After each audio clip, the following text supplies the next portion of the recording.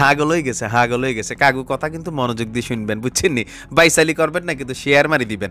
কথা শুনেন, হাতে চিন্তা করছিল, ওই হ্যাকডেন খান আছে নানি হাতে চিন্তা করছিল গোপনে গোপনে আরও দুই সাইডের হ্যাট বাজাই দিব, দুগার তো আমেরিকা ফাড়াইছে, বুঝছেন নি? আরও দুই সাইড গারে মনে করছে সারা পৃথিবীতে ছড়িয়ে দিবে। কিন্তু বেজাল লাগাইছে যখন একটার লগে একটার বাচ্চকগার লগে ছবি দিল নানি জন্মদিনের দিন।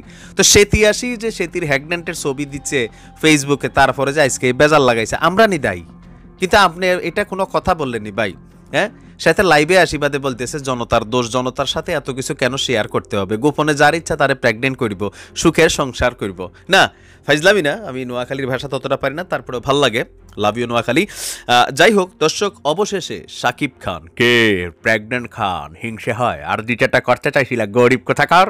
মানে ঝামেলা পাকাই গেছে। ঝামেলা পাকানোর পরে এই প্রথম গণমাধ্যমে এসে ক্ষমা চাওয়ার বদলি, উল্টা আরও কি কি বলতেছে? সেলিব্রিটিদের ব্যক্তিগত বিষয় বলতে কি কিছুই নেই? সবই কি পাবলিক প্রপার্টি তিনি বলছেন, আমি স্বীকার করি সেলিব্রিটিদের সব কিছুই পাবলিক দেখতে চায়। তাই বলে কি, একজন সেলিব্রিটির বেডরুমের দৃশ্য পাবলিককে দেখানো যায়? কই, আমরা কি দেখছি নি? আপনি কেমনে করছেন? আই মিনস ভালোবাসা।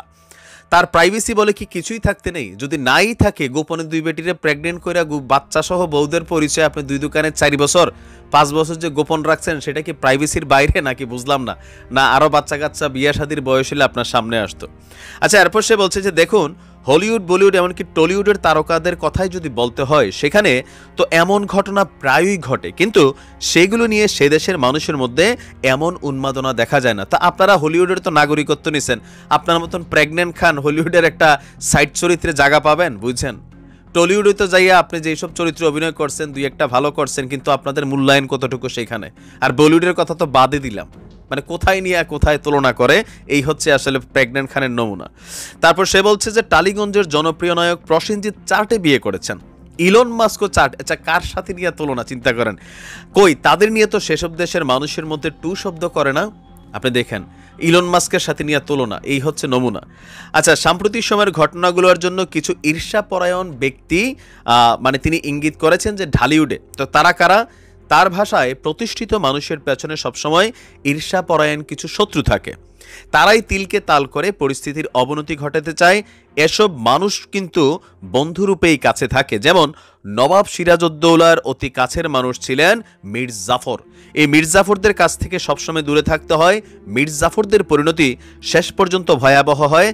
তারা একসময় করুণভাবে ধ্বংস হয়। ইতিহাস এর সাক্ষী। আমি আর কোনো খারাপ মানুষের সঙ্গে থাকতে চাই না। এখন খারাপ মানুষ বলতে কি ওই যে পরিচালক ইকবালরে বুঝাইছে? নাকি যারা ডিপজল ভাই সহ এই মুহূর্তে তার এই কুকর্মনিয়া যারা আসলে সমালোচনা করছে তাদের কথা। আপনি দেখেন যে বলা উচিত ছিল যে আসলে বিষয়টা আমি জানাব এমনি এমনি, কিন্তু এগুলা না বইলা এসা আমজনতার এমনকি যারা বিষয়টা নিয়ে কথা বলছে তাদেরকে সাকিব খান ওরফে প্রেগনেন্ট খান ধুয়ে দিচ্ছে। তিনি বলছেন যে, আমি কমপক্ষে এখন পর্যন্ত শতাধিক ছবিতে অভিনয় করেছি।